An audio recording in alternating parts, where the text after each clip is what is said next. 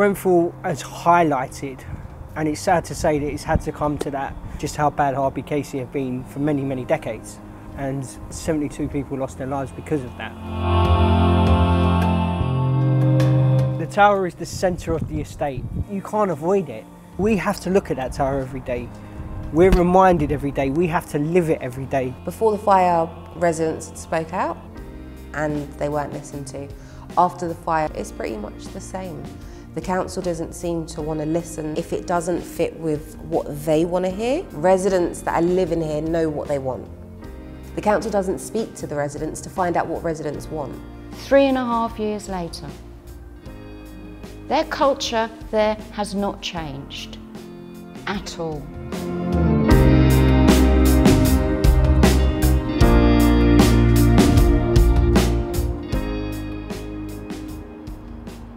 I'm Jill Brown.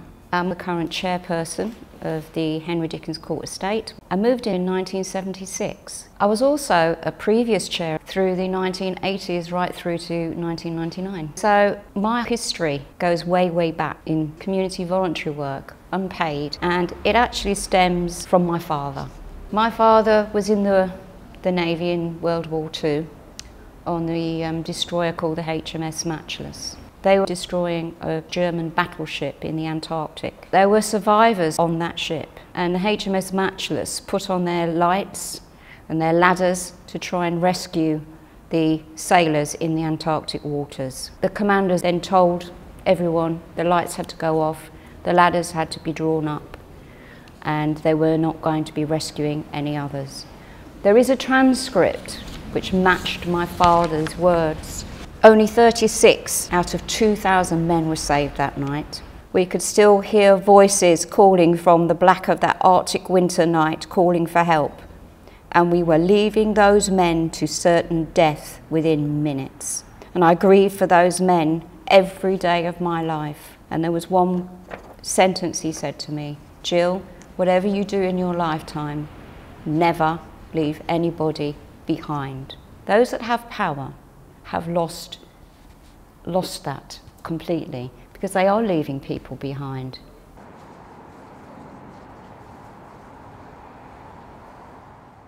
I'm Stuart Hall. I live directly opposite the tower. I was out there from about half one that night. New people that sadly didn't make it out of the tower, new people that actually did make it out of the tower. We've all been affected by it in our own way. The fight was terrible. It was like uh, it was like the Blitz. None of RBKC was there. It was just the community helping each other.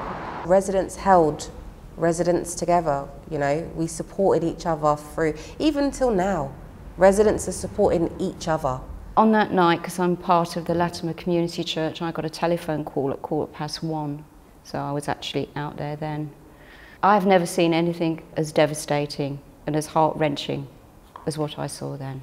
My name is Tarek Gotti. I live at Henry Dickens Estate. I've moved here from the States back in 2006. I'm volunteering. I'm doing COVID now, and I'm also, I've been doing Grenfell before. The night of the fire, when I got there, I froze because memories came of 9-11. I lost 26 family members. So that night was a bad memory. My name is Vasiliki. I live in the area for about 38 years. Our building is about 80 meters from the tower. What we have seen with the children screaming, and suddenly you don't hear their voice. The people, we saw their faces at the windows. You know, all these things, you know, came up again and again like a, a nightmare for weeks and weeks and weeks. We as residents, we had to stand by and watch, and were so helpless. I avoid looking out my window. I avoid using a certain entrance to get into my block.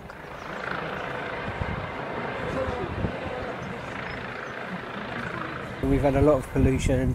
We don't yet know how bad the toxins are from the cladding because all that stuff went into the air, all that stuff still floating around. Coughing, coughing, coughing inside my throat. It was like scratching me. Everybody was complaining about similar things, and there was absolutely nobody to address our physical or uh, psychological problems. The working class gets zero hours and a place to live in Grenfell Towers. The search for justice gets delayed. You had everybody living in the tower. from all walks of life, from so many different countries. Race and background should have been a part of the inquiry because that's what mattered. I think the inquiry is a joke. We're three and a half years in and not one arrest. Not one one person accountable for those deaths. The company that supplied the cladding, they should go to jail.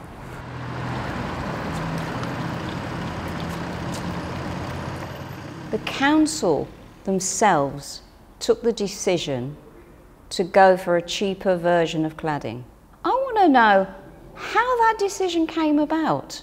Who was consulted on that to make that decision? Oh, well, we're not going to go for that cladding because it's too expensive. We're going to save money because they were a rich borough. They had millions in their reserves. They could have afforded the proper cladding. Anything to save a buck with RBKC, anything to stop spending money on this side of the borough. Why are we always the last to get anything? Why? We've been having a problem with this property for years and it hasn't changed, it's just got worse. We're private um, landlords, yeah? London and Quadrant, but they put us here 17 years ago because they didn't have nowhere for us to live. They don't really cater for disabled people. I had polio when I was seven years old, which affects my back, spine, and my legs. Permanent disabled and wheelchair user. Look at these kitchens, and this is what they call it: disabled adaptive kitchen. What do I have to do to get stuff out like this? Yeah, and this is series of help, which that's what I have to do all the time. Everything is broken anyway. No window, no working fans, and there's all the mold here. Yeah, that's coming off the wall as well.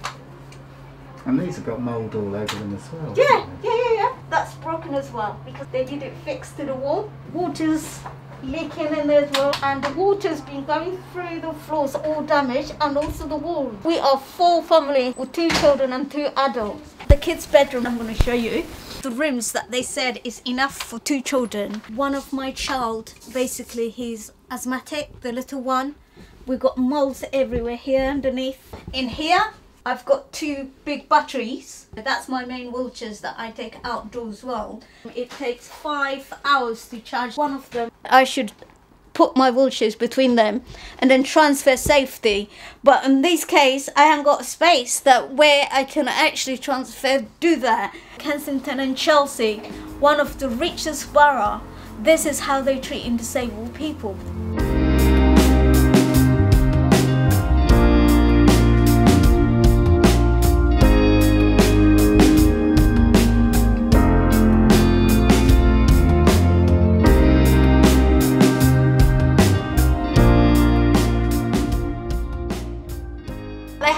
Million. Where is it? Where is it? We ain't, the community ain't had it. So where is it? I can find no records of where this money has gone, or where it, or who spent it, on what it's been spent on. We need RBKC to open their books. Every penny they spend should be up for scrutiny. And if they can't tell us that and they can't show us the receipts, the police should have to be informed because that is taxpayers' money. So again, I ask, where's the money? Where's the 15 million pound that's been put aside to help these people? You're not empowering anybody to move forward. You're not empowering anybody to actually change. You're not empowering the younger generation. Is the money you make worth the lives you